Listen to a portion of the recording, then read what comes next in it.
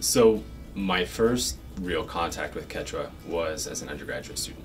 Uh, I received a scholarship to study in Bolivia. And although Quechua wasn't part of the program, we did learn a lot of vocabulary words and we're around Quechua speakers. And I think that's something that stuck with me uh, for many years afterwards. Um, I kept thinking about the Andes, about the people that I'd met. And when I came to OSU, I had the opportunity to finally formally began learning Quechua. Uh, was it something I expected? No. But uh, there was an opportunity to do so, and it aligned with my broader interests and uh, both personal and professional. And so I began formally studying Quechua in Peru in 2013 at Centro Tinku. I had an intensive course, uh, which was at the time funded through the Center for Latin American Studies here. When I came back, I had a full academic year of Quechua here at OSU, which was followed by another intensive program in Peru, the same institution. And since then, I've continued studying Quechua, but much more on my own terms and, and uh, you know, following my interests. So, overall, um, I've had you know a mix of formal and informal study, and continue to learn all the time. Uh, but it's not a language that you just learn overnight. It's very different than the other languages I've studied. So I'm a linguistics student and um, have had to study a number of languages uh, Spanish, Portuguese, French, Catalan. Uh, but this is different altogether. And so, in that sense, it was also really rewarding uh, to be able to study something um, that complemented my own work and at the same time allowed me to you know, go into communities and uh, you know, practice a language that is not as common and I just found it really rewarding.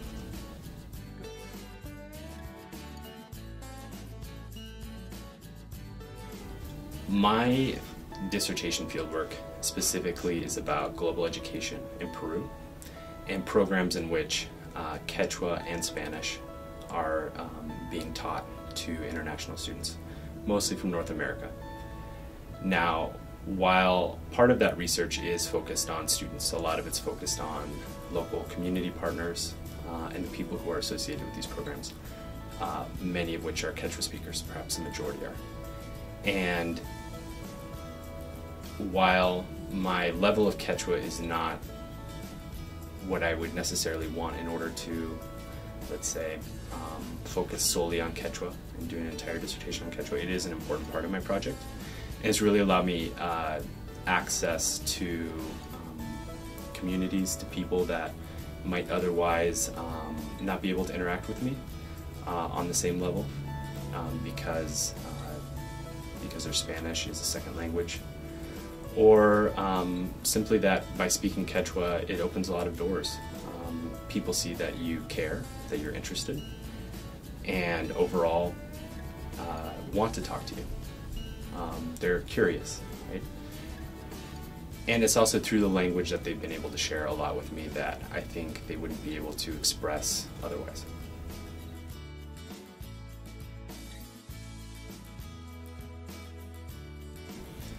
So, first of all, um, most of the other languages that I've studied, obviously besides English, are Romance languages, uh, which would make sense being in Hispanic linguistics perhaps.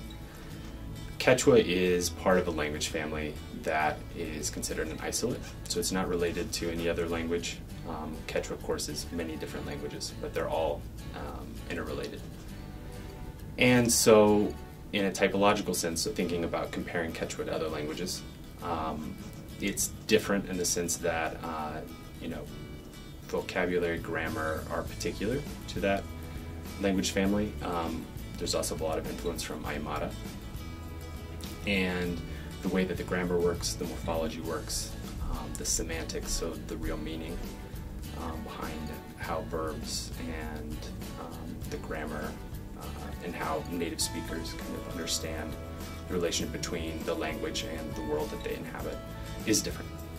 And it's in that sense that uh, I would say studying Quechua has kind of made me think about things that I'd never thought before, thought about before, and kind of opened my eyes to a different way of understanding, of being, of perceiving.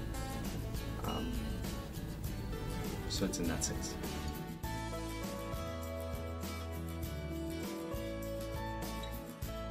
I received a Fulbright Hays Fellowship from the U.S. Department of Education back in 2015, which allowed me to study in Peru uh, for 12 months doing dissertation research.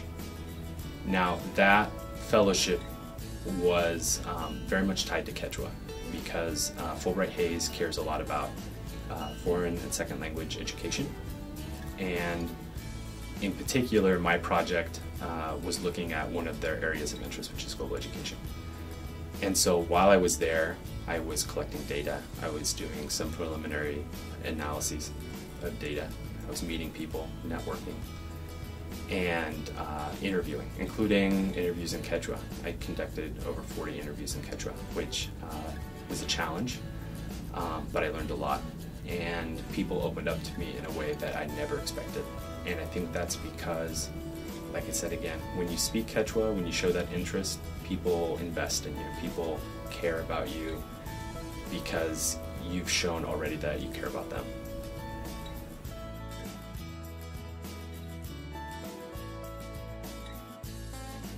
Well, obviously it depends on each person mm-hmm. and where they're at, uh, where they see themselves going in the future. However, I think for anyone who's really interested in the Andes or is interested in learning a language that uh, is a challenge, but also a, the type of challenge that opens doors, that uh, makes you think about things in a new way, in a critical way. And Quechua is a great option. Um, and why? So if someone is thinking about going to the Andes, doing work in the Andes, doing research in the Andes, Quechua opens a lot of doors. Um, you don't have to speak Quechua really well in order to um, reach people on a personal level. And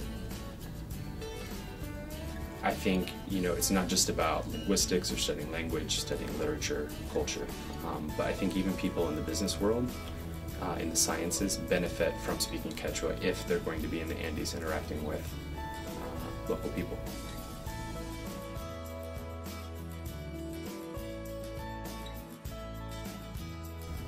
Well, the question of practicality is interesting because I would say most people who study a language here at OSU study Spanish. Uh, I don't know if that's a majority overall, but it's the biggest one. And you know, a lot of students uh, never end up using Spanish after they leave, um, don't interact much with Spanish speakers.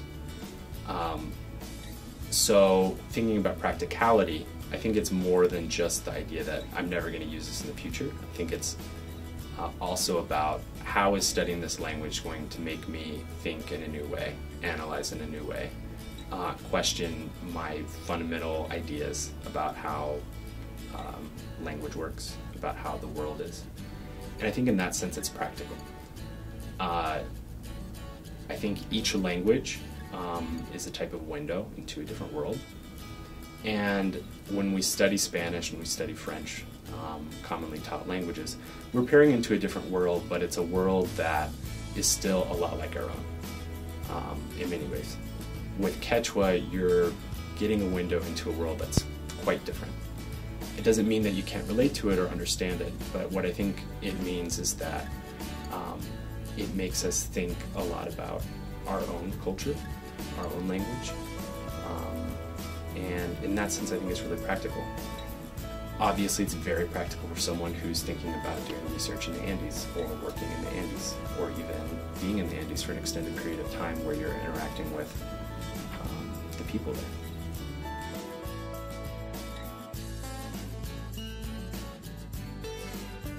Well, there are a lot of different examples. Um, one that I can think of off the top of my head right now would have to do with how in Quechua talk about the future and the past. So, in most Western cultures, I would imagine nearly all of them or all of them, we tend to think about the future being in front of us and the past is behind us. Right? And so we're moving forward into the future and we're facing the future. But in Quechua, it's the opposite. um, the idea is in part that we're moving backwards into the future. And why is that? Uh, well, people would explain that by saying we can see the past, right? We see what's happened. And obviously, our sight and seeing is, is central to our experience. And we don't know what the future holds. And in that sense, it's behind us, right? Because we can't see it yet. Um, so that's one of these things where it makes you begin to think about what are these basic assumptions that we have about how the world works and what human experience is. Um, and it's through that reflection that I think you get a lot out of studying Quechua or a similar language.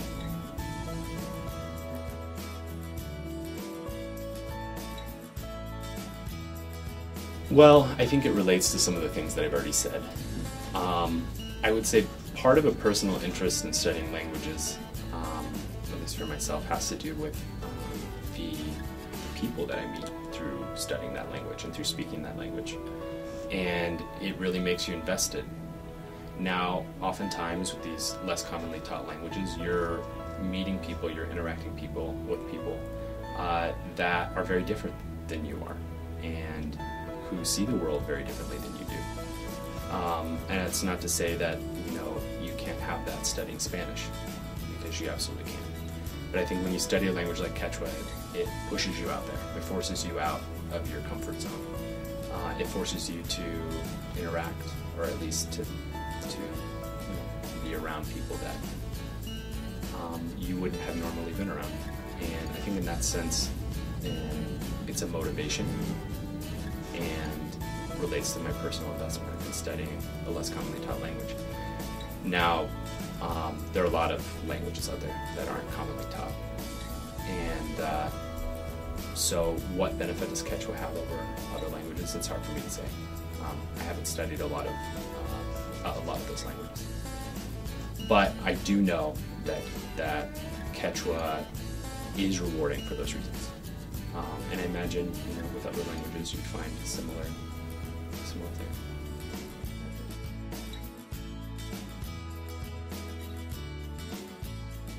One that comes to mind is um, related to um, a trip that I took with another um, student uh, who speaks Quechua. And we went up to a highland community where she was conducting fieldwork and uh, we got to know a lot of people there, um, monolingual Quechua speakers and others. We went on a hike to to find people, and you know a lot of these folks are with their their animals up in the hills. Um, their their living is very um, different than what we have. Uh, I think that's the best way to describe it. You know, getting to know these people um, laughing with jokes. Um, they show you things. But also, um, there are things that here in the US might make us upset, which um, to them is part of everyday life. For example, um, losing a pet dog because of some type of tragedy, whether another animal kills it or um, doesn't have any food and starves. And those things are part of everyday life um, and you know talking to people about it makes you think differently about how we interact with animals. And uh, another example that I can think of relates to research that I did on Taquile Island in Puno on Lake Titicaca. Uh, Taquile is a Quechua-speaking uh, island. There are different communities there, and uh, I have really fond memories um, meeting people there. When we'd walk around the island, we'd look at pre-Incan ruins. Uh, we climbed to the top. They'd show me where different things are on the lake. Uh, we have a lot of memories um, cooking food in the kitchen. Um, all of us around, you know, grandma's there, children are there, and um, they would tell me about you know, things in the past in their life. Uh, in a lot of the interviews that I did in Quechua, um, people related relayed really personal stories about things that had happened to them. Um, for example, uh, hunger in childhood and essentially being passed off to other families uh, in, a, in, a, type of form of um, indentured servitude. or when um, the Maoist terrorist groups in Peru um, would arrive in certain villages and what that was like. Um, and those are really fond memories because I will always remember those stories and the things that they told us about and um, think about also how it relates to my own life. So grad school can be difficult, I can be stressed, um, but then I think about you know these people who I met and what their lives are like, and it gives me it gives me strength. And it um, tells me you know to move forward and to keep in mind that um, as bad as I think things are sometimes, um, you know, we all deal with different problems, and uh, we have to keep moving forward.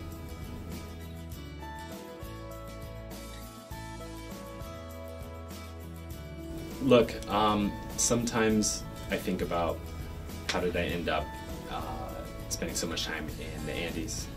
How did I end up studying Quechua? These weren't things that I ever thought about for myself. I never imagined that I would be in Peru for a year doing field work on a fellowship really tied and connected to Quechua. Um, that I'd be interacting with the people that I that I have. Um, you know, sometimes these things um, just can't be foreseen. But I do know in my case, um, it's the people that I've met and the communities that I've become part of that really propel me to, to keep moving forward. And so there is studying the language, um, you know, for its own purpose. Um, I think Quechua is fascinating if you're into thinking about grammar, if you're into thinking about um, the intricacies of language. Um, but to me, language is ultimately also about people and the people who speak it. And they're what really motivate me to move forward and keep studying Quechua, keep speaking Quechua, uh, keep studying Quechua on my own um, when I can. Because um, I care about them. And it makes me care about Quechua.